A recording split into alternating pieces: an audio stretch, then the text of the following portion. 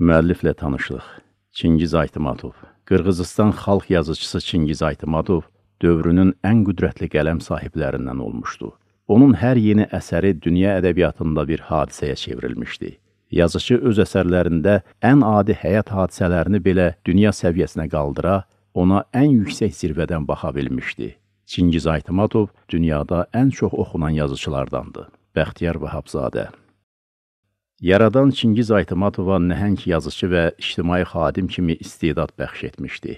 Çingizdə hələ uşaqlıq illərindən insanın cəmiyyətdəki davranışına düşünülmüş baxış formalaşmışdı. Dördüncü sinifdə dövlət sərhədlərini qoruyan sərhədçilər haqqında özünün ilk hekayəsini yazmışdı.